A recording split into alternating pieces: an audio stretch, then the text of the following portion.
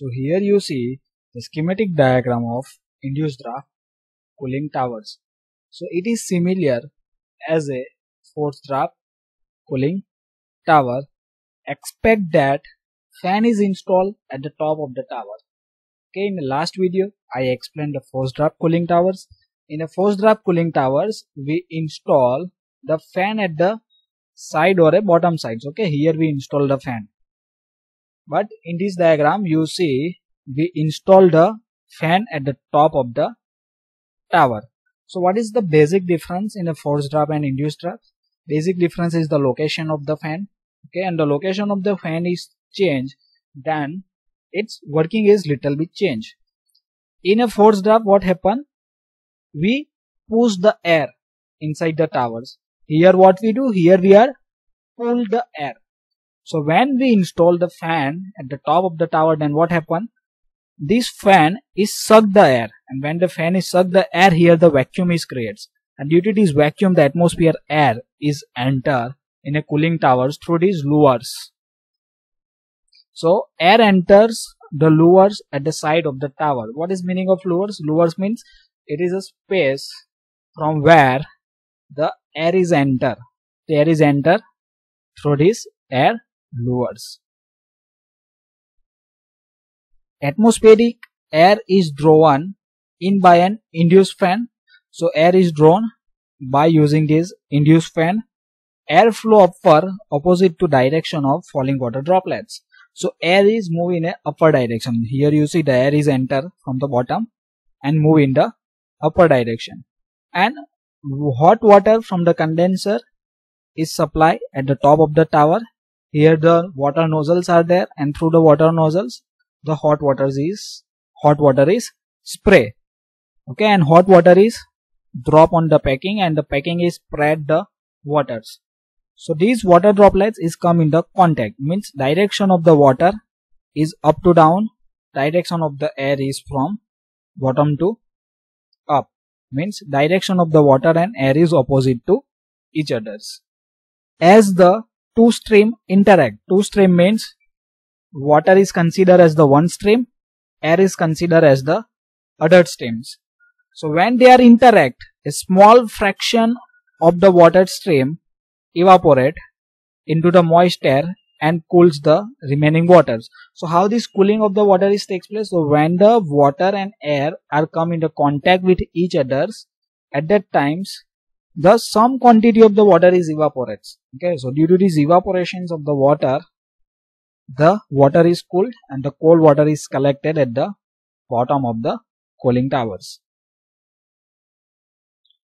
The cool water is collected at the bottom of the tower and pumped back to the condenser.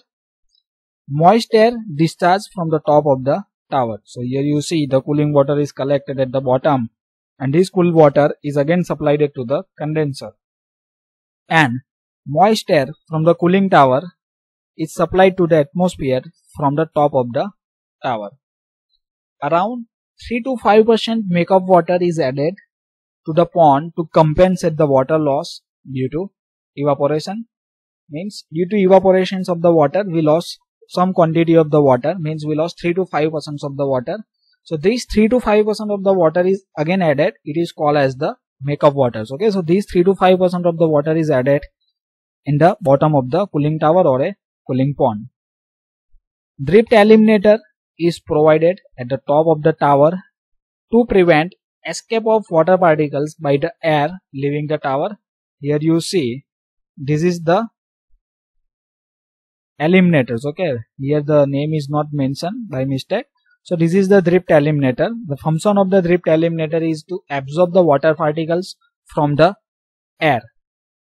Now before moving ahead, I request to like the video and subscribe my channels for watching the more video related to power plant engineering and other subject of mechanical engineering. For power plant engineering various link is provided in descriptions as well as in a car. For other subject I request to visit this playlist.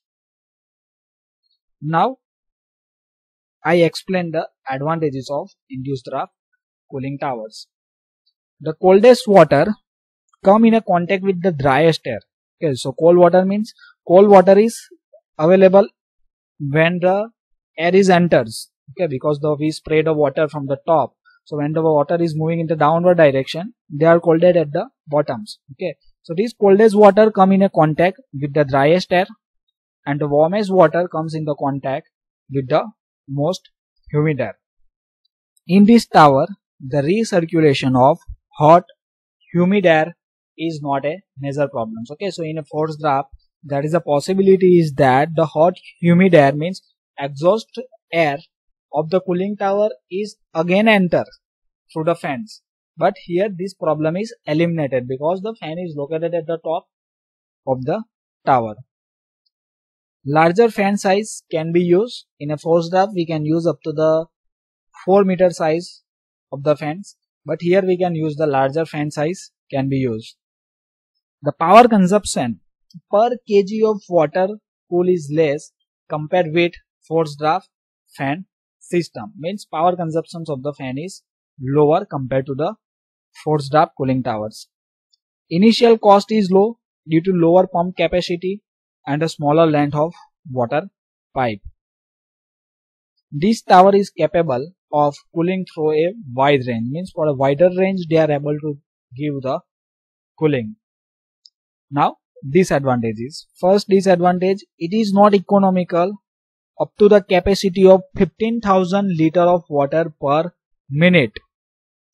For larger quantity, the economic shift in the favor of induced draft tower means cooling water is required 15,000 liter per minute then we can use the induced draft system. Capacity is less than 15,000 liter per minute then we can use the forced draft cooling towers.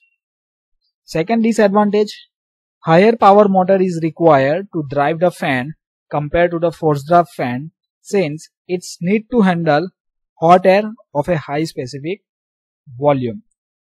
So here the hot air is available. Okay, in a forced draft, the fan is installed at the bottom. So this fan is handle only the atmospheric air. Okay, but in a induced draft, we put the fan at the top of the tower. So at the top of the towers, the temperature of the air is higher because the air is absorb the heat energy from the waters and temperature is increased and some quantity of the water vapor is also there. So here the fan of the induced draft fan is handle the uh, hot air plus water vapor particles. In a forced draft fan, the fan is only handle the air. Its maintenance cost is high. Fan bearing need to be cool. Okay, so I, I already explained that the in induced draft fan, the fan is handle the hot air. Due to this hot air, the bearing temperature is also increased. So we need to cool the bearing. So thank you for watching this video. If you learned something, then like the video, subscribe my channels and don't forget to share with your friends.